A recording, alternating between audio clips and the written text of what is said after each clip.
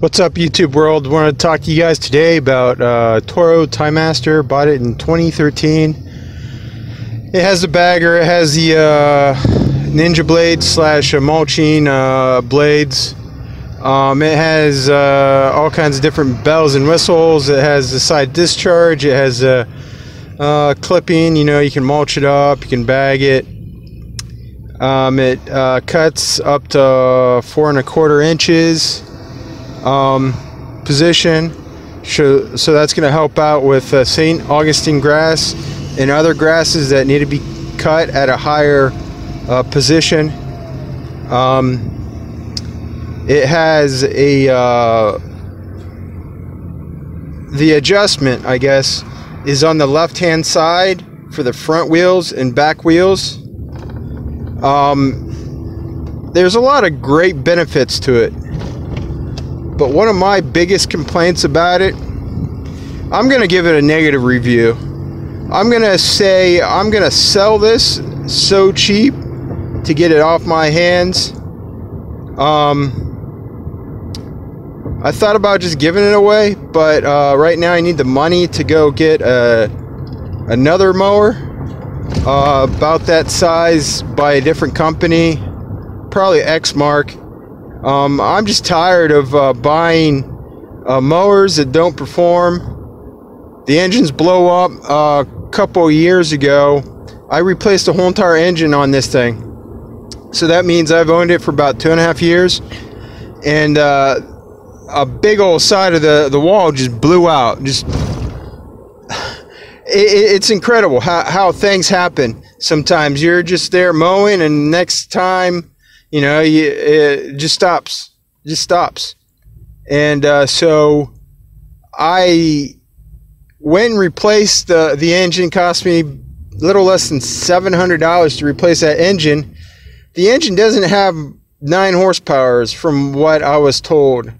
It's eight horsepowers and change. I don't know, eight and a quarter or whatever it was. I'm really embarrassed for that. you, you know uh, 30 inch uh, mower should have at least uh, 10 horsepower or more. Um, I'm sorry, my uh, 22 inch uh, Toro um, self pace, that thing has seven and a quarter horsepower. So it's basically one horsepower less than my Time Master. I would say. Um, if uh, Toro with their Time Master would have chose a different engine company instead of Briggs and Stratton, they would have done better. Like Honda or Kohler or Kawasaki, they would have done so much better.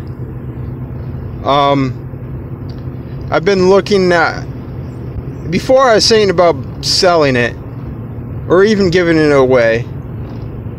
I thought about switching out the engine. The engine um, just seems to lose power. I don't know why. I've uh, tried to fix the muffler, fix the different seals. It just uh, it mows for a while. It gets bogged down or something in the the different grasses, bahia grass really, and it just cuts out. And I just can't get it started up right away. Let it uh, settle for I don't know 10, 20 minutes. It's ready to go again, but I don't know about you. I, I don't need that much downtime. And if there's that much downtime on any mower uh, throughout your day, you're, you're, you're losing money because that means you're going to have to have a backup mower for a 30 inch mower and you're hoping to, to make it through the day. Um, if you're a new business, you're going to be, um, you're definitely going to be uh, going down the road looking for another mower uh, you're probably going to carry a, a 21 inch mower with you until you can get uh, something better. Um, but once again, my review for the Toro Time Master 30 inch. It, it, it's uh, two thumbs down, one star out of five. And uh, I would just sell it um, and uh, find something that performs better. I've seen uh, some other lawn reviews.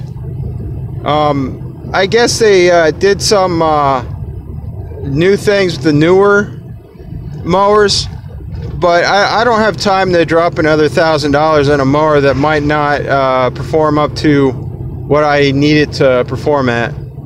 Uh, I'm gonna go with the uh, Exmark, most likely. I already have a 32 inch. It's a Red Hawk. It, it works really well.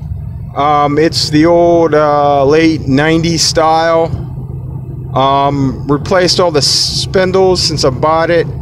I've had it for about four or five years. It works really good. Uh, sharpen the blades, not a problem. Um, but my Time Master, I like to use that as a more, more of a finishing mower that I can quickly adjust the heights on to get in the backyards. Now with my Red Hawk, I cannot adjust it like that. I will have issue with it. So once again, gonna get rid of my Toro Time Master. If you're looking to buy one, uh, hit me up. I'll sell it to you at a reasonable price. And uh, if you like the content of this re review, give it the big thumbs up, like, subscribe, spread the word. Thanks again.